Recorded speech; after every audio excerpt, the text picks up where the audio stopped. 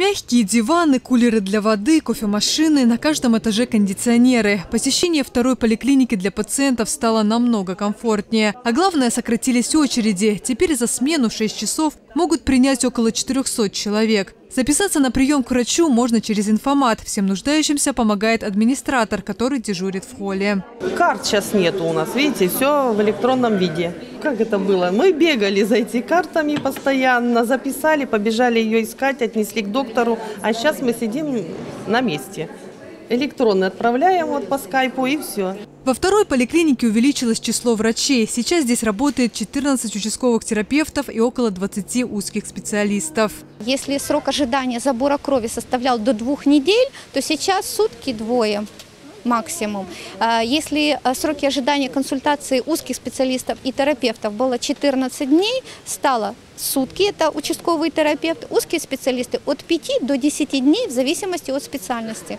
Работу второй поликлиники удалось оптимизировать благодаря введению электронной карты пациента. За время реализации программы «Бережливая поликлиника» в медучреждении создано отделение профилактики и открыт дневной стационар. Обновили рентген-кабинет и кабинет флюорографии. В ближайшее время в поликлинике появится новый аппарат УЗИ и эндоскоп. Кроме того, в следующем году проведут капитальный ремонт здания. Будет меняться кровля, будут меняться стены, проводка, вентиляция, будут устанавливаться три единицы рентгенологического оборудования, флюорограф и маммограф. Среди нерешенных проблем руководство поликлиники отметило отсутствие парковок и затрудненный подъезд к учреждению, а также близость объектов нестационарной торговли. По НТО э, можно сказать следующее. Мы только начали этот процесс, мы подошли к нему комплексно. На последнем заседании правительства мы утвердили новый порядок. Это будет три комиссии, три департамента.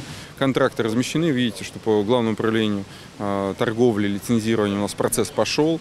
Показатели до конца года у них еще 400 объектов незаконных э, демонтировать. По линии департамента архитектуры это 300 объектов, а в следующем году полторы тысячи. И по линии департамента городского хозяйства и органов местного самоуправления в этом году еще 250 объектов, а в следующем году порядка полутора тысяч. Руки дойдут, все снесем, все, что будет незаконно. Проект «Бережливая поликлиника» позволил решить проблему нехватки кадров. В медучреждение привлекли молодых специалистов из разных регионов России. Здесь работают врачи из Екатеринбурга, Перми, Башкирии. Сегодня вторая поликлиника обслуживает около 60 тысяч пациентов. Елена Карнаухова, Дельвер Меджитов, информационный канал Севастополя.